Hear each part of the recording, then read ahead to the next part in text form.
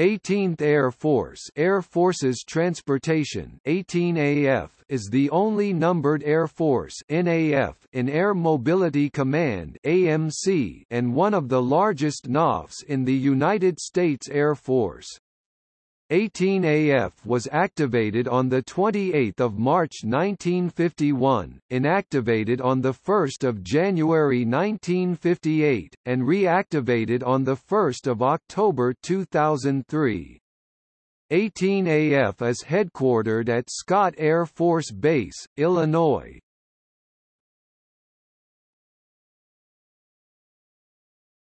Topic. Overview As AMC's sole NAF and the Air Force's largest NAF, 18AF is responsible for the command's worldwide operational mission of providing rapid, global mobility and sustainment for America's armed forces through airlift, aerial refueling, aeromedical evacuation, and a global air mobility support system. 18AF presents air mobility forces to combatant commanders through its role as Air Forces Transportation AFTRANS, the air component of United States Transportation Command. The 18AF commander also acts as the commander, Air Force Forces COMAFFOR, and Joint Force Air Component Commander JFACC, when so designated. The command's mobility aircraft include the C-5 Galaxy, KC-10 Extender, C-17 Globemaster III, C-130 Hercules, and KC-135 Stratotanker. Operational support aircraft are the VC-25 Boeing 747, Air Force One, C-21, C-20B Gulfstream 3, C-32A Boeing 757-1, C-37A Gulfstream 5-2, C-37B Gulfstream 550 and C-40B Boeing 737-3. 18AF has an assigned military and civilian workforce of more than 37,000 personnel.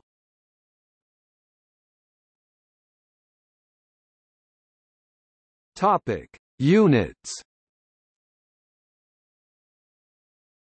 Units reporting to 18AF include 11 wings and two stand-alone groups.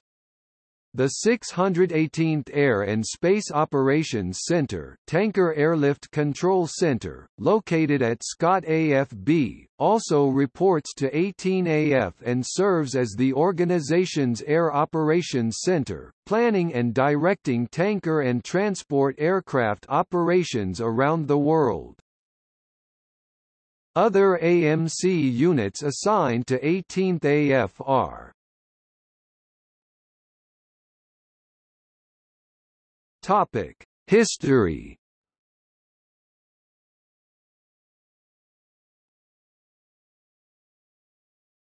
Topic: Origins. When the Army Air Forces AAF reorganized in 1946, Tactical Air Command TAC was established as one of its three major commands. The AAF X Troop Carrier Command TCC was inactivated as part of this reorganization and 3rd Air Force was reassigned to TAC to control the troop carrier units formerly part of XTCC. It was headquartered at Greenville Army Airfield, South Carolina.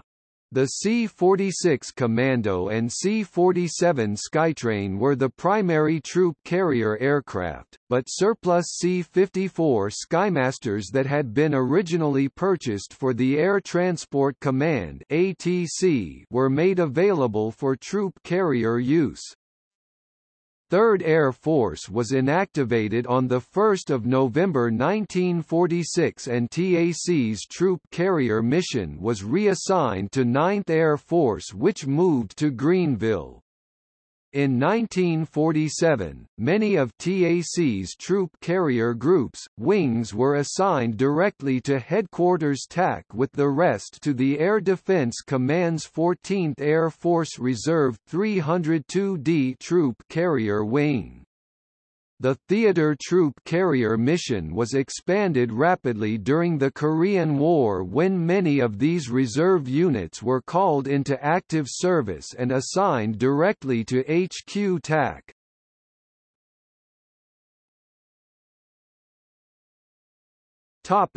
Cold War 18AF was established and activated 28 March 1951 to discharge Tactical Air Command's TAC troop carrier responsibilities. The organization became operational on 1 June 1951 at Donaldson AFB, South Carolina and initially assumed control of nine medium C-119 Flying Boxcar Troop Carrier Wings 314th, 375th, 403d, 433d, 434th, 435th, 443d, 514th and 515th, seven of which were Air Force Reserve wings called to active duty during the Korean War. The command added a heavy C-124 Globemaster wing, the 62nd Troop Carrier Wing, in fall 1951 and another in early 1953, the 63rd Troop Carrier Wing. In the spring of 1952, 18 AFC 124 Globemasters were sent to Japan and by July 1952, C-124s from the 22nd Troop Carrier Squadron were flying missions in South Korea. The arrival of the C-124 introduced the aircraft loadmaster position to the troop carrier mission. As the Korean War wound down, C-119 flying boxcar crews from the 483rd Troop Carrier Wing began supporting French operations in Indochina.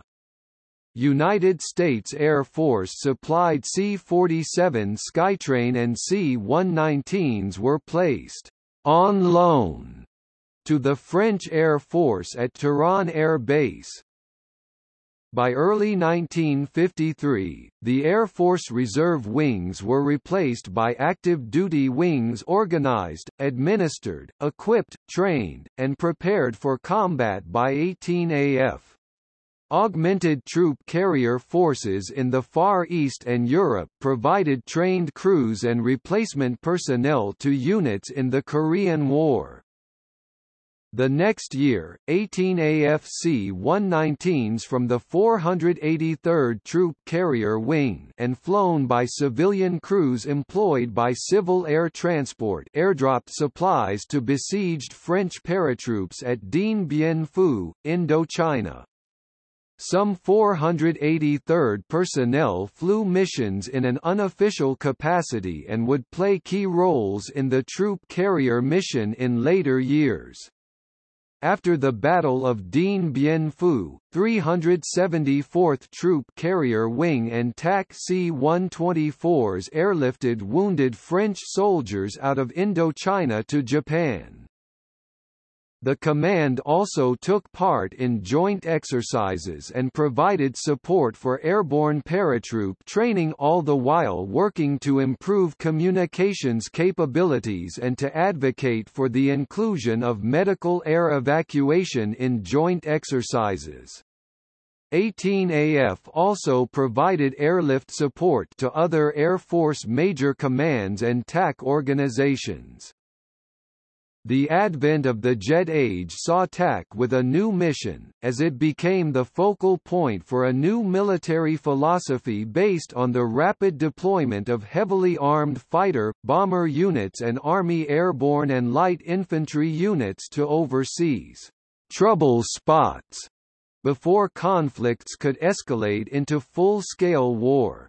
18AF units supplemented Military Air Transport Service MATS airlift when needed and transported U.S. Army and U.S. Air Force units for training and deployment.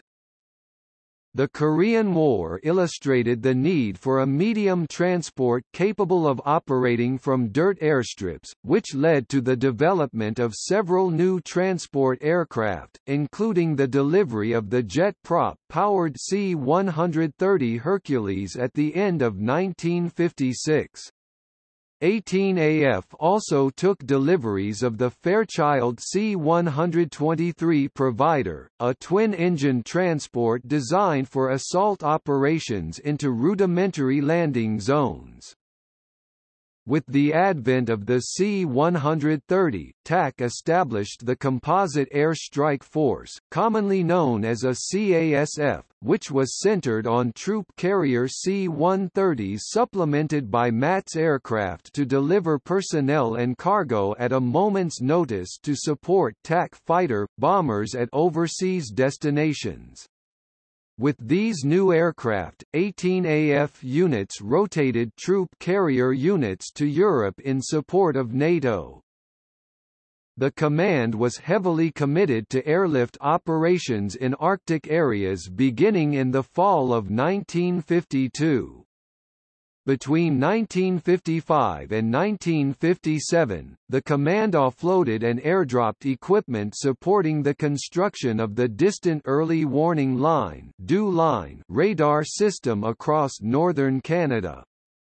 Helicopters of the 310th Troop Carrier Squadron, operating from two icebreakers, provided support airlift to the U.S. Navy in the HIRAN High Precision Air Navigation project in January 1956.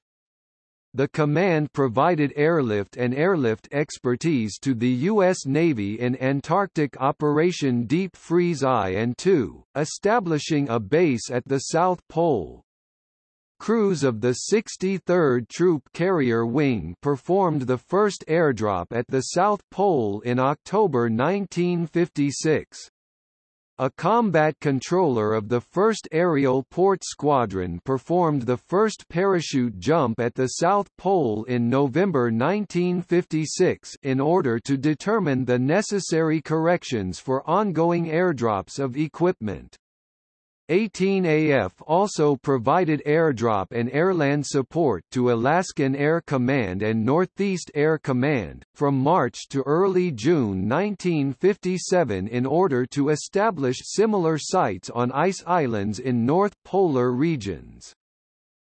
The command was also instrumental in the development of the aerial port concept, including techniques and equipment for loading troop carrier aircraft and the airdrop of cargo.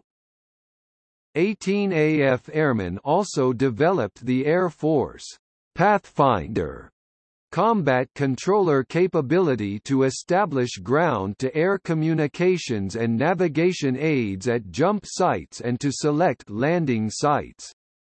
They also carried out fixed-wing assault missions using C-123 aircraft for landing on small unimproved landing areas. The command organized the first rotary assault group in the U.S. Air Force before losing the mission to the U.S. Army and served as advisory body for reserve troop carrier wings. Finally, the command was also heavily involved in the testing of new aerial delivery equipment, equipment and techniques for dropping paratroops and cargo, and navigation devices to determine Point of release a realignment of troop carrier forces in 1957 led to the reassignment of 18 AFC 124 wings to MATS and its headquarters was moved to James Connally AFB, Texas on 1 September. At the same time, Donaldson AFB was turned over to MATS along with the C-124s and 63 DTCW assigned there. At Connally the command gained responsibility for TAC's day fighter, fighter bomber, and aerial tanker operations on western U.S. bases. 18AF was inactivated effective 1 January 1958 due to budgetary reasons, and its units were reassigned to 12th Air Force which had been reassigned from U.S. Air Forces Europe at Ramstein Air Base, West Germany to James Connally AFB.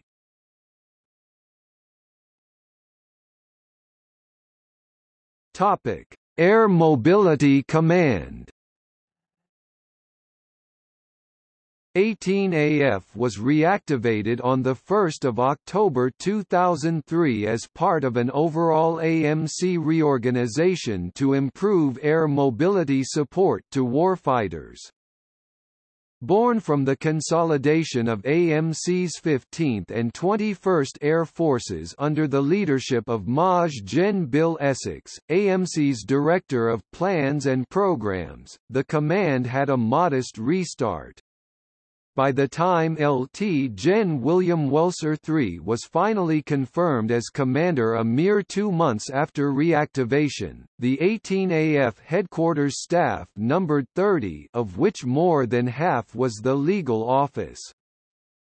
At that time, every AMC wing and independent group reported to the 18AF, including the newly designated 15th Expeditionary Mobility Task Force and 21st Expeditionary Mobility Task Force, AMC's lead agencies for conducting airlift, air refueling, aeromedical evacuation, and expeditionary combat support operations worldwide. This meant that a single commander, the 18AF commander, had tasking and execution authority for all air mobility missions.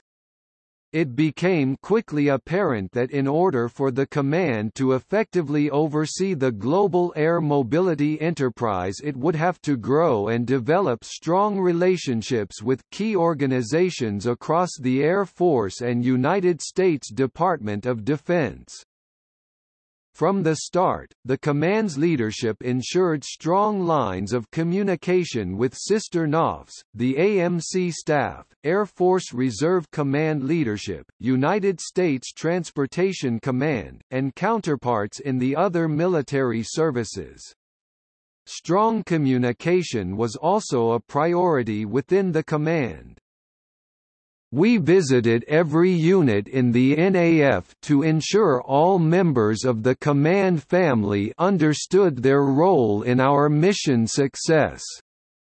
This included integration of Air Reserve Component Advisors and visits to Air Force Reserve Command and Air National Guard units to ensure they were fully integrated into war fighting team. Visiting other service units also paid huge dividends in the joint fight. Said Welser. Building on a foundation of strong internal and external communication, 18AF leaders next focused on evolving the command's role to present air mobility forces and expertise to combatant commands, particularly United States Transportation Command. In November 2005, Maj Gen James A. Hawkins, a former 18AF vice commander, took the reins of the 18AF. Under his leadership, and that of his successor, Maj Gen Winfield W. Scott III, who took command in June 2008, the command continued to evolve to meet complex missions at home and abroad. One of the most demanding of those missions came when Hurricane Katrina made landfall on the Gulf Coast in August 2005, eventually causing more than 1,800 deaths and nearly $80 billion in damage over an area of approximately 90,000 square miles. From the initial response through recovery, 18 AF airmen were part of a massive total force team that flew more than 300 missions that moved nearly 1,800 sick and injured hurricane victims to safety and airlifted more than 4,000 tons of relief supplies to the stricken area. A mere two years afterward, the command also flexed its muscle overseas with the deployment of approximately 1,500 mine-resistant ambush-protected vehicles to Iraq in only four months. The increasingly complex nature of the command's mission, evidenced by global demands such as these argued for a second rebirth of the command, which was soon to come. These changes occurred on 6 January 2011, when five units transferred from the 18AF to the command of the United States Air Force Expeditionary Center USAFEC at Joint Base McGuire-Dix Lakehurst, New Jersey. Included in the transition were the 87th Air Base Wing at Joint Base MDL, the 628th Air Base Wing at Joint Base Charleston, South Carolina, the 627th Air Base Group at Joint Base Lewis McChord, Washington, the 43rd Airlift Group at Pope Army Airfield, North Carolina and the 319th Air Refueling Wing at Grand Forks Air Force Base, North Dakota. The 18AF commander, LT Gen. Robert Allardice at the time, retained operational control of airmen in these units a control 18AF retains to this day, but the change reduced his administrative burden, allowing him greater focus on the command's worldwide mobility flying operations. The need for that focus had become obvious over the years, reflected in a doubling of the 18AF's headquarters staff between 2003 and 2010. During the same time the headquarters also added operations and plans directorates as well as an integration cell to leverage other key AMC staff members performing operational tasks supporting the command's mission. While the 2011 restructuring was one of the most visible elements of an evolutionary process that enhanced the 18AF's operational capability, it was far from the last. The following year the command went through one of its most significant restructuring efforts to date. In March 2012, the 18AF inactivated its two Expeditionary Mobility Task Forces, the 21st Expeditionary Mobility Task Force at Joint Base McGuire-Dix Lakehurst, New Jersey and the 15th Expeditionary Mobility Task Force at Travis Air Force Base, California. These inactivations administratively aligned the task force's subordinate units, the 615th Contingency Response Wing at Travis, the 621st Contingency Response Wing at Joint Base MDL, the 515th Air Mobility Operations Wing at Joint Base Pearl Harbor Hickam, Hawaii, and the 521st Air Mobility Operations Wing at Ramstein Air Base, Germany under the U.S. Air Force Expeditionary Center USAFEC. The following June also saw the inactivation of the 615 CRW, with the alignment of its subordinate units under the 621 CRW. While the changes reduced the administrative demands on the 18AF commander, they still left him with full operational control of AMC's forces. LT Gen Mark Ramsey, then 18AF commander, noted that the changes represented a more effective and efficient way of carrying out the command's global air mobility mission especially the planning, exercising, execution, and assessment of airlift, air refueling, and aeromedical evacuation operations in support of combatant commanders across the globe.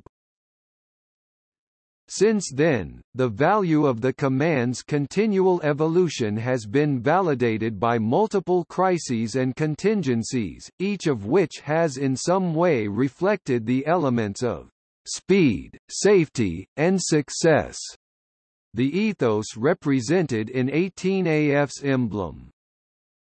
In the wake of Japan's 2011 earthquake and tsunami, the command successfully and quickly orchestrated efforts transporting hundreds of tons of humanitarian relief while assuring the safe return of thousands of military families back to the U.S. simultaneously. Within hours of the passing of a Security Council resolution, AMC tanker units rapidly formed the 313th Air Expeditionary Wing, a total force Calico Wing, so named for the variety of aircraft tail flashes from the different units that constituted it, to support the U.S. Operation Odyssey Dawn over Libya, which later became the NATO Operation Unified Protector.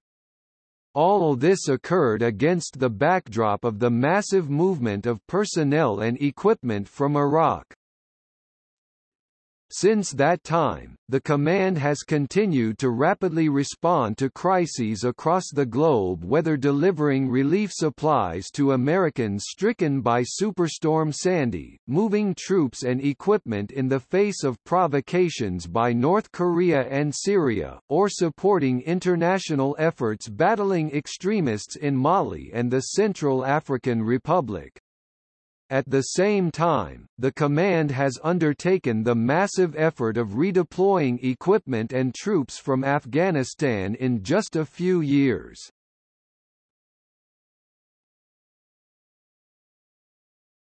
Topic: Lineage Established as 18th Air Force troop carrier on 7 March 1951, organized on 28 March 1951.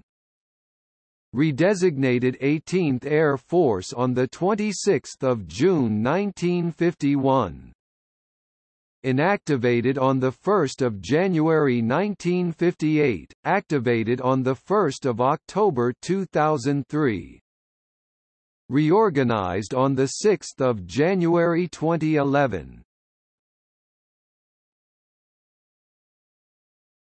Topic: Assignments.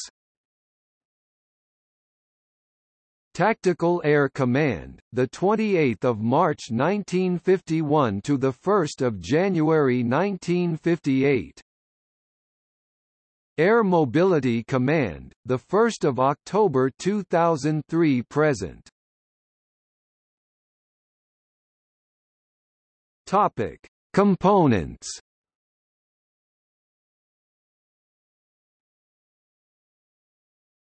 Topic: Divisions. 42d Air Division, the 1st of October 1957 to the 1st of January 1958 Bergstrom AFB, Texas 831st Air Division, the 8th of October 1957 to the 1st of January 1958 George AFB, California 832d Air Division, the 8th of October 1957 to the 1st of January 1958 Cannon AFB, New Mexico 834th Airlift Division, the 1st of October 1957 to the 1st of January 1958 England AFB, Louisiana. Topic: Wings.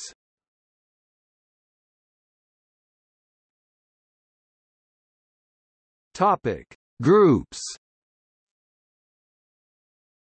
309th Troop Carrier Group, the 8th of July 1955 to the 2nd of June 1956, detached the 8th of July 1955 to May 1956, assigned to Ardmore AFB, Oklahoma, USAFR, C-122, C-123. Topic: Stations Greenville AFB, later Donaldson AFB, South Carolina, the 28th of March 1951. James Connally AFB, Texas, the 1st of September 1957 to the 1st of January 1958. Scott AFB, Illinois, the 1st of October 2003 present. Aircraft assigned